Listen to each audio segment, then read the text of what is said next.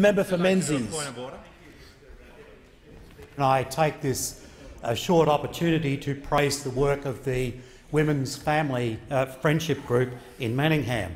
The Women's Friendship Group is a non-denominational, non-political, multicultural group. Indeed, uh, the women who comprise uh, this community organisation come from some 33 different ethnic backgrounds.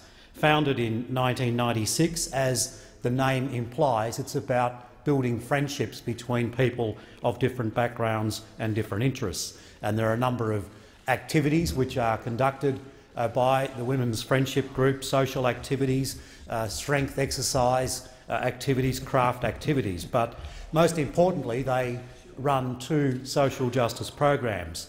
Uh, the first is a domestic program uh, which they make garments for a variety of health institutions, some 2,000 in recent years.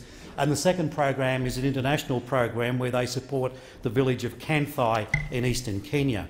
They've connected water, built a water kiosk and a greenhouse, opened a kindergarten and are about to open a medical centre in this village of Kanthai in eastern Kenya. So I congratulate the group. I particularly congratulate and commend Helen Jurcevic, uh, who was recently awarded uh, the Medal of the Order of Australia for her work. This is a great example of community activity in practice.